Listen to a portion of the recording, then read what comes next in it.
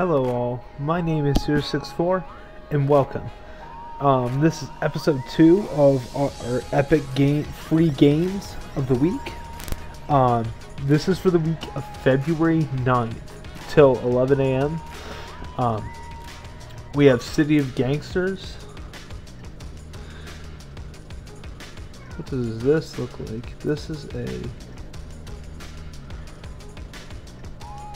A management tycoon game You'll start a criminal operation from nothing and grow it into a well-oiled money machine.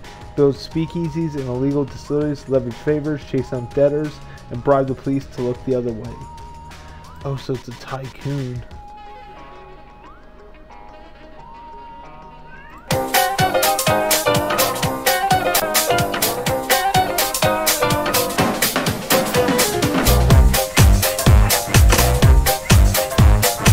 Yeah, it's just a tycoon about gangsters back.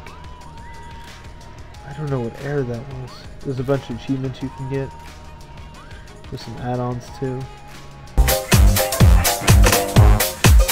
So we'll go ahead and grab that.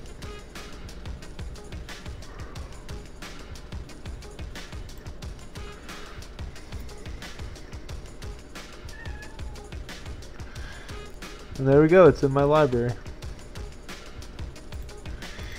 And that's the first game for the week this week. Um, and the next game is Dishonored Death of um oh wait Dishonored Death of the Outsider. I heard Dishonored was a very good game. The outsider preys on weakness.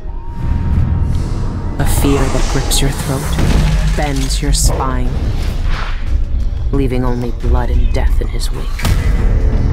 I've seen the people he's twisted with poisonous magic. Oh shit. He's played God for too long. I'll find out if he can still bleed.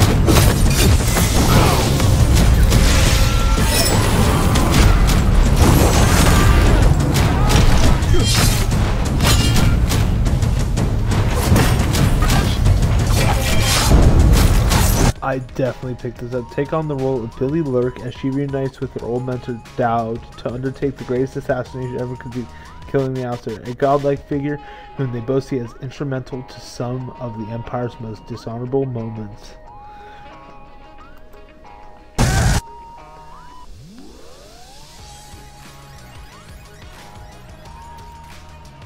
And we're gonna grab that too.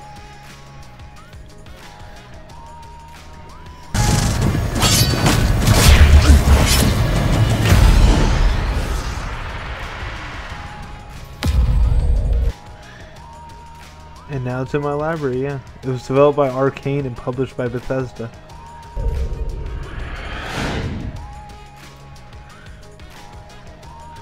And those are huge two free games for the week of February 9th. The next one is Recipe for Disaster.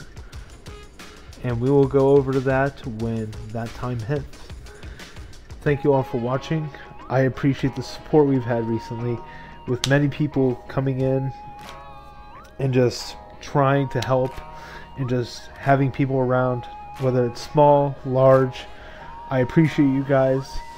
I appreciate all of you um, very much. Uh, thank you all for watching. My name has been 064, and this is your free Epic Games for the week of February 9th, and I am out.